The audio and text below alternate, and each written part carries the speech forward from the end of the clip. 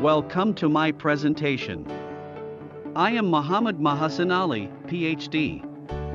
Research Fellow, Department of Environment and Energy Engineering, Environmental Fusion Energy Technology Laboratory, Chonnam National University, South Korea. My professor is Sokhee Philemon Jung, Department of Environment and Energy Engineering. He has been pursuing his MS and PhD in Pennsylvania State University, USA.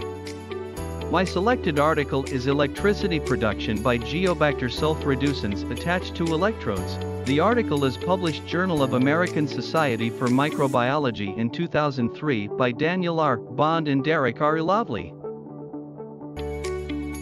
My presentation outlines would be followed by the introduction, materials and methods, result, discussion and conclusion. The introduction, definition of microbial fuel cell. Microbial fuel cells are devices that use bacteria as the catalysts to oxidize organic and inorganic matter and generate electricity. Also, it is a new technology for energy harvesting and wastewater treatment plant based on electricity generation from wastewater using microorganisms. Mechanism of electricity generation. Some microorganisms oxidized organic material, they pass the electrons directly or indirectly into an anode electrode. Figure 1. Microbial fuel cells efficiency. For the first time, Geobacter sulfurreducens microorganism used in microbial fuel cells as catalysts and improving the efficiency of the microbial fuel cells.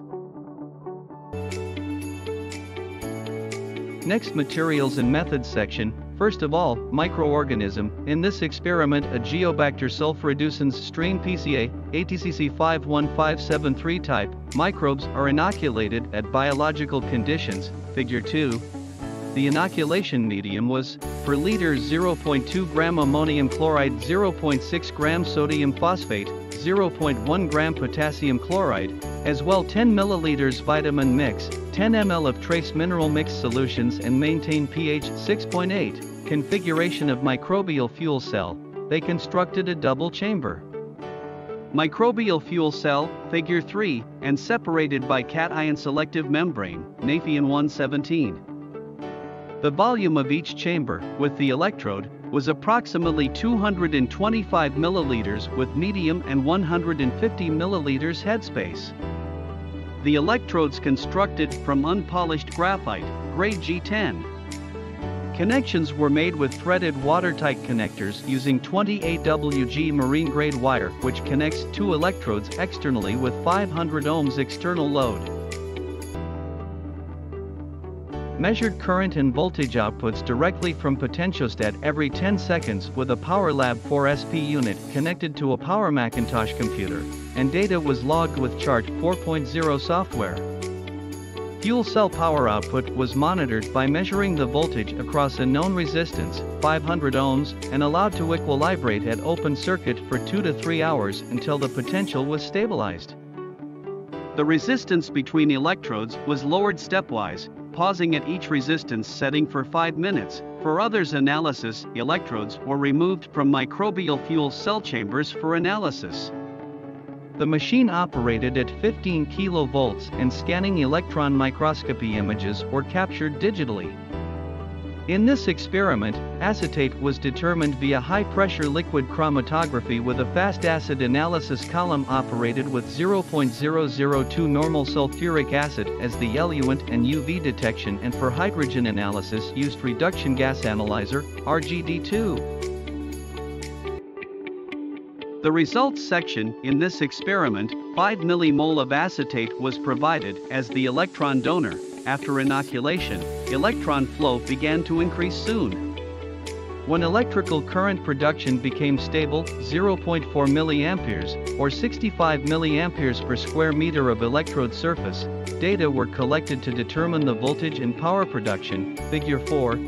After every 5 days of operation, the medium was again removed and replaced to observe the effective medium after the medium change resulted in a current power profile that was almost identical to that initially observed, figure 4. When the chambers were inoculated with 5% Geobacter sulfurreducens cultures at a constant potential, plus 200 mV versus silver by silver chloride, current production rate increasing, averaged 0.04 mA per hour, figure 5. For investigation, the growth medium was replaced with the anaerobic salts buffer. The production level of electrical current was similar to previous levels as soon as acetate was added as an electron donor, figure 6. When the potentiostat was turned off in the presence of excess acetate as an electron donor and allowed to come to equilibrium, the potential of the electrode rapidly decreased. Equilibrium potentials reached at these electrodes averaged minus 0.42 volts versus silver by silver chloride, figure 7. Scanning electron microscopy image revealed nearly full coverage of the electrode surface by a layer of cells, figure 8. Next is discussion section.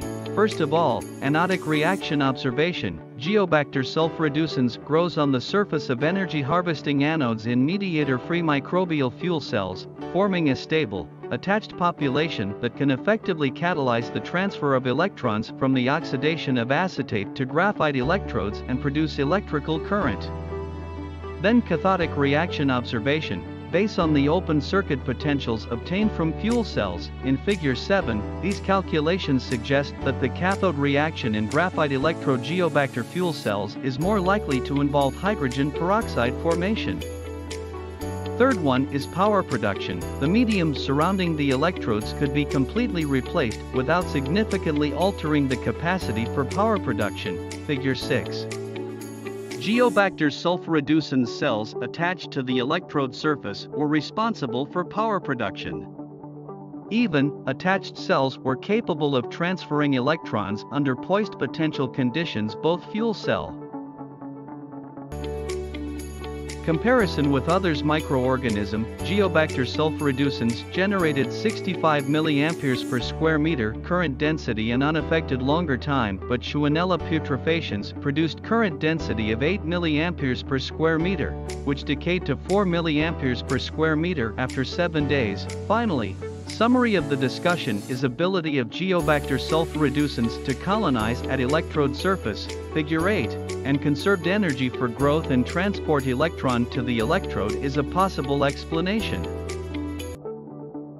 Finally, conclusion section, from above discussion, it can be concluded that Geobacter sulfurreducens was able to completely oxidize its organic substrate with nearly quantitative transfer of electrons to the electrode, without mediator, also, Geobacter sulfurreducens generated maximum current density is 65 mA per square meter and unaffected longer time. Beside these, 3.5 to 9% electron was generated electricity from oxidation of acetate by Geobacter sulfurreducens and showed 95% electron recovery and more than 10,000-fold higher rates of current flow in the poised potential compared to Shewanella putrefaciens. Overall conclusion of this article is, effectiveness of microbial fuel cells can be increased with Geobacter sulfurreducens that can attach to electrodes and remain viable for longer time and produce current by oxidizing organic substrates. Thank you for watching.